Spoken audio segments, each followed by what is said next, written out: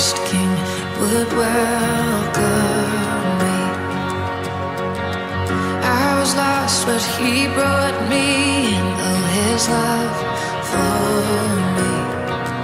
Oh, his love for me.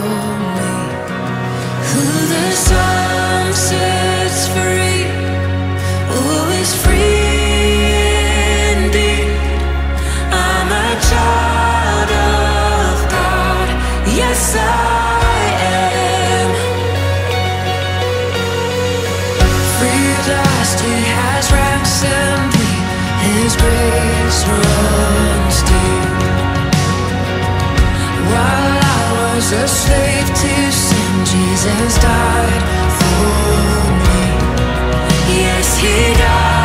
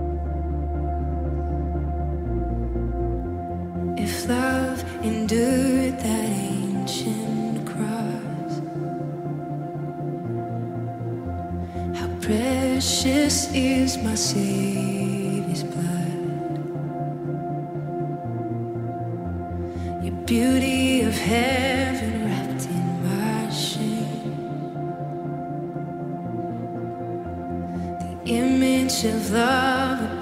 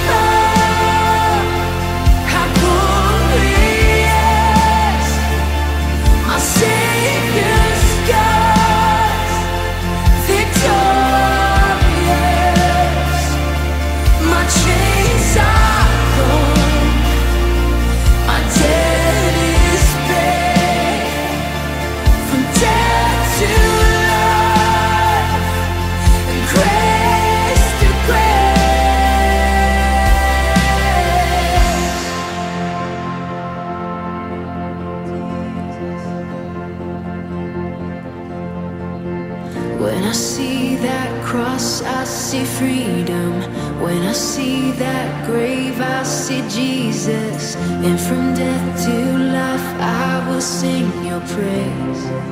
In the one, come on, you see. When I see that cross, I see freedom. When I see that grave, I see Jesus, and from death to life, I will sing Your praise. In the wonder of your grace, when I see that cross, I see freedom.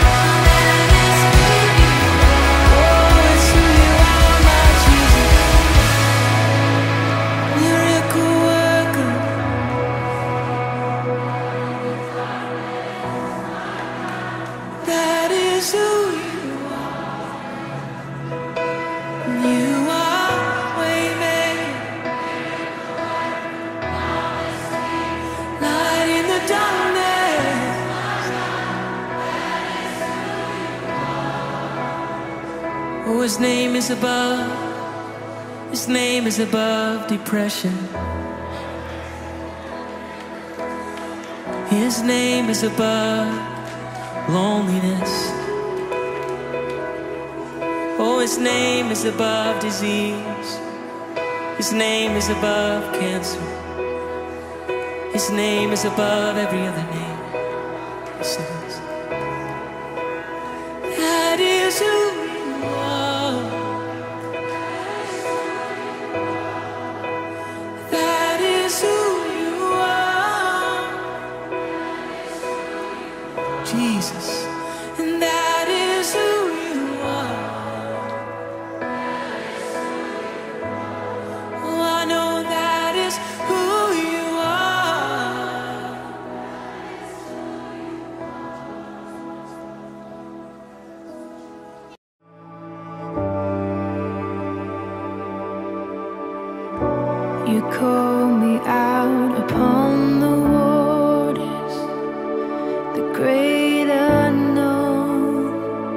where feet may fail. And there I find you in.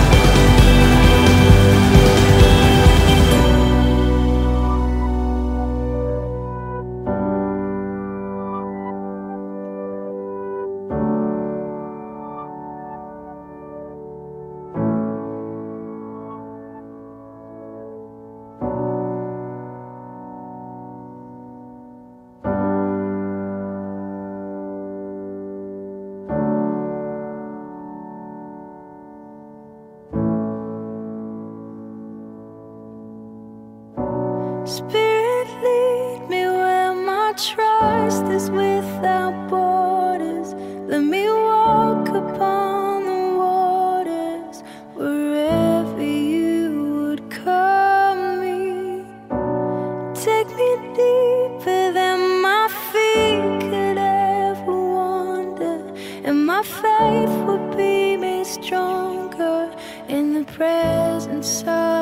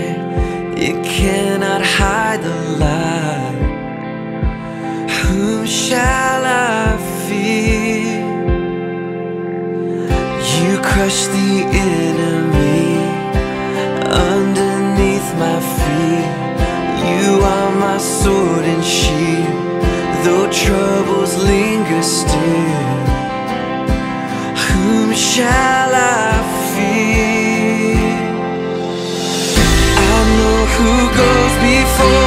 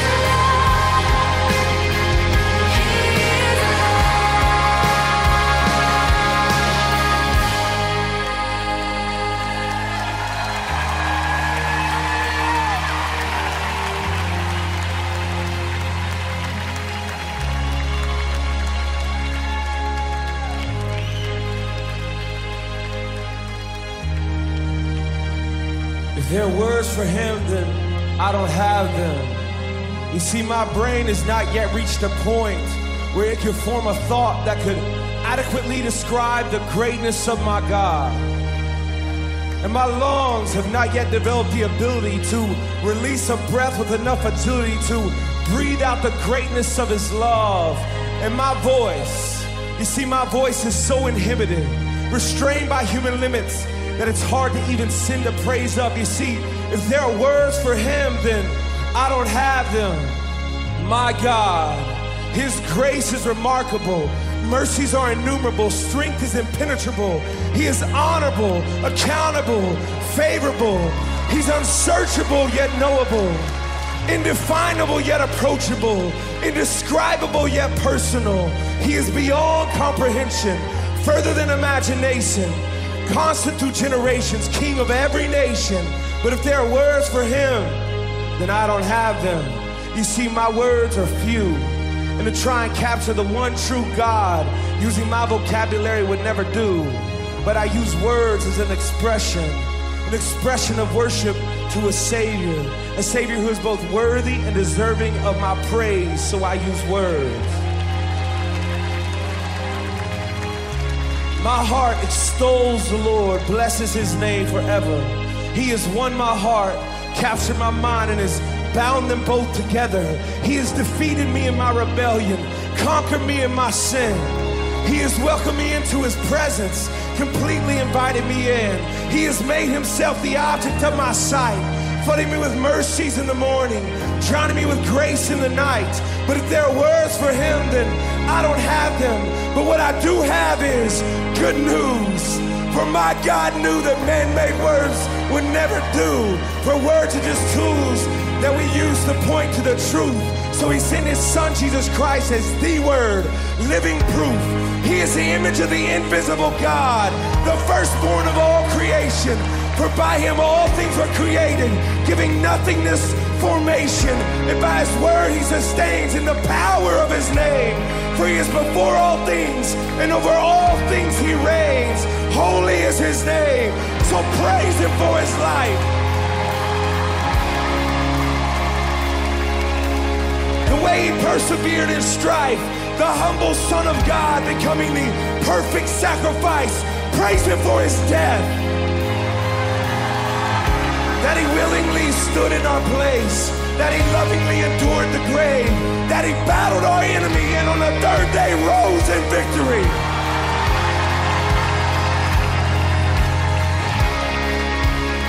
He is everything that was promised.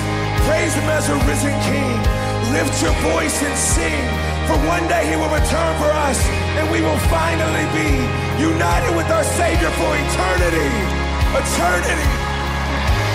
So it's not just words that I proclaim, for my words point to the word, and the word has a name.